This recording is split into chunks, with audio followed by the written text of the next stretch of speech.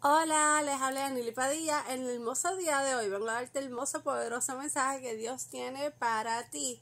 Se trata sobre el libro de Hoy Dios quiere que sepas que eres una persona hermosa. Y dice lo siguiente, fuiste creado para ser creativo.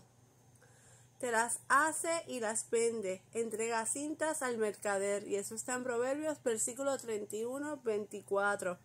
La Biblia alaba a tener un negocio en casa la mujer en Proverbios 31 estaba definitivamente ocupada en el mantenimiento de la crianza del hogar, pero también tenía algunos negocios. Uno de ellos consistía en crear hermosos atuendos para vender a los comerciantes para sus tiendas. Usar los talentos dados por Dios es una inversión para ayudar a suplir las necesidades de la familia. Puede ser de gran bendición. La belleza es usar creativamente tus dones para hacer el bien. Así que recuerda que mujer, fuiste diseñada por el creador para ser toda una empresaria. Cuídate, que Dios te bendiga mucho. Bye bye.